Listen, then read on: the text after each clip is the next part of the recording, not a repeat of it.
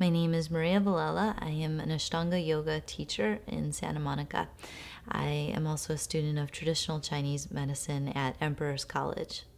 You know, I'm not the first to say this, it's been said many times, but the breath is the most important aspect of the practice.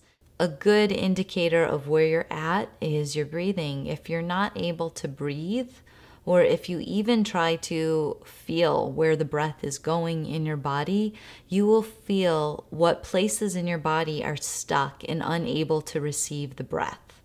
You will start to feel that. And that's where this can be like a meditation for you. Where am I feeling stagnation? Where am I feeling stuck? Where am I feeling in my body that I can't get breath to? Um, and you may notice that inhalations are easier and exhalations are more difficult, or vice versa. Um, then your work is to balance them, balance the inhalation to the exhalation. When you're moving in the poses, if you lose sight of the breath, you've stopped practicing yoga.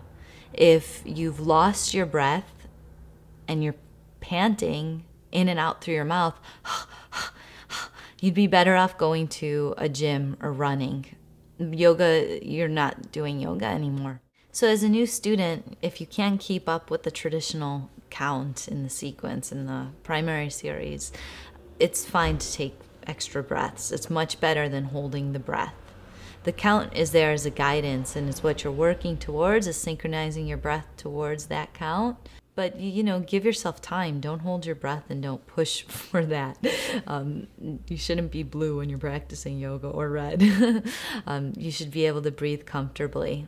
And so you just wait for the breath to you know you, you give it in you set your intention there and you work towards it. And then you accept that it's not going to be there right away. It's a process